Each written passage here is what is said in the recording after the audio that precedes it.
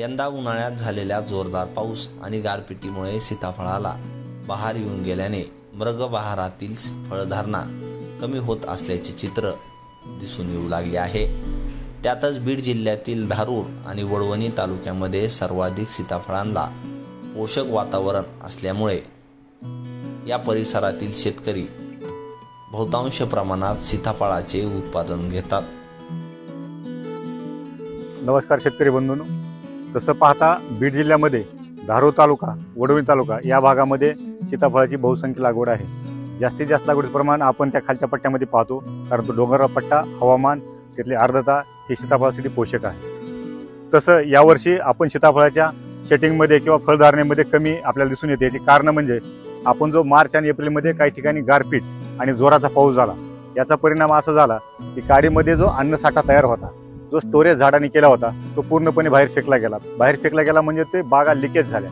आणि लीक झालेल्या बागामध्ये अन्नसाठा राहत नाही.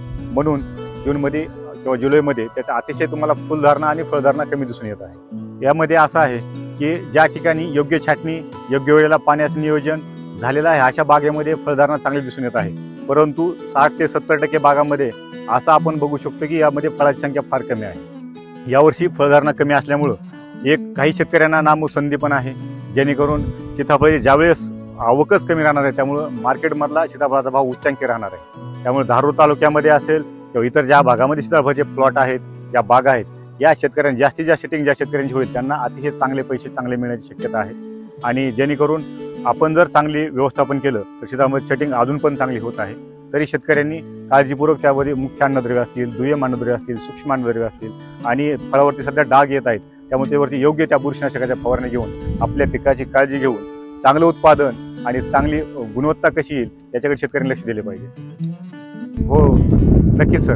कारण ज्यावेळेस आपण तसं पाहिलं तर उन्हाळ्यामध्ये हिवाळा आणि उन्हाळा हा सीताफळाचा रेस्ट पिरियड आहे. म्हणजेच आपला विश्रांतीचा काळ आहे. आणि विश्रांतीच्या काळामध्ये ज्या झाडामध्ये स्टोरेज होतं अन्नद्रव्याचा साठा तयार होतो अन्नद्रव्य पूर्णपणे साठवले जातात ती मध्ये एप्रिल आणि मार्चमध्ये जो पाऊस झाला त्याच्यामध्ये पूर्ण बाहेर फेकली गेली.